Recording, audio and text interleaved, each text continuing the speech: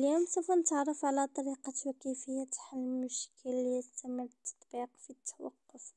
قم بالضغط هنا على ضبط الإعدادات.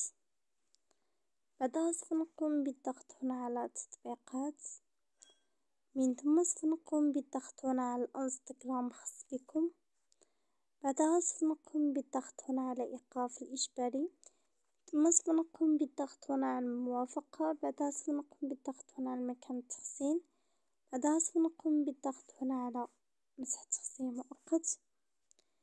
من ثم سوف نقوم بإيقاف إعادة تشغيل اتجاه العمودي. وبهذه الطريقة نكون قد قمنا بحل المشكلة. ولا تنسوا الضغط على زر لايك والاشتراك في القناة. ونراكم فيديوهات القادمة إن شاء الله.